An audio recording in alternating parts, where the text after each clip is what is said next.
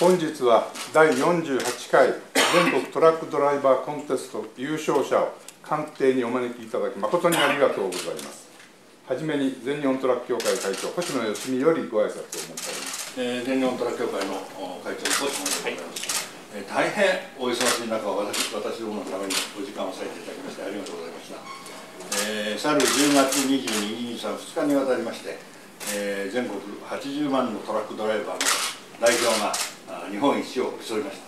今日この4名の者が各部門の優勝者でございます、えー、安倍総理から優勝杯の授与とねぎらいのお言葉をいただければ幸いでございます。よろしくお願いいたします。続きましてトラックドライバーコンテストの各部門優勝者をご紹介いたします。内閣総理大臣賞4トン部門優勝神奈川県代表井上誠。はい。11トン部門優勝岡山県代表平岡誠二はい。トレーラー部門優勝愛知県代表石上貴信。はい。女性部門優勝神奈川県代表松本靖子。はい。それではすすみません。総理より各部門優勝者へトロフィーの授与をお願いいたします。井上誠。はい。お願いいたします、はいおめでとうございます。おめでとうございます。は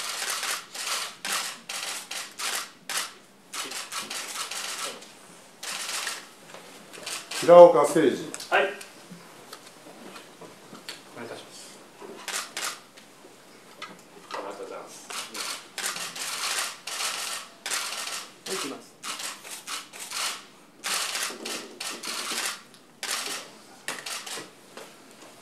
石上貴信。はい。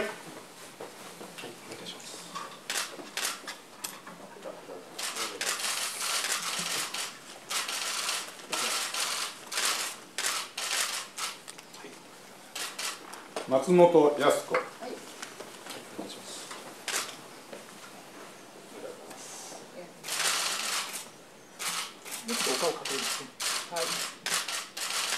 もう一回いきます。はい。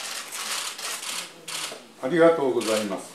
続きまして総理から選手たちへねぎらいの言葉を賜りたいと存じます。よろしくお願いします、えー、皆さんおめでとうございます、えー、皆さんはそれぞれの分野において、えー、日頃の、えー、練習、えー、そして訓練の成果を発揮をされ優秀なトラックドライバーとして認められ表彰をされました。あ、まあ、現在はですね、えー輸送の約9割はトラック輸送が担っているわけでありまして、えー、ライフラインを、えー、担っているのはトラック輸送と言ってもいいんだろうと思います。そして、えー、現在ネットによるですね、えー、販売が大変普及をしている中において、えー、さらにそのニーズは高まっているものと思います、えー、しかし、まあ、大切なことは安全に荷物をを届けることであります。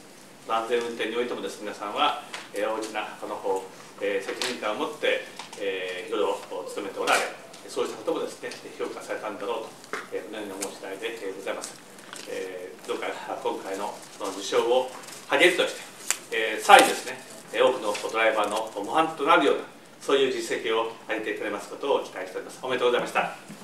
ありがとうございます。それでは時間も迫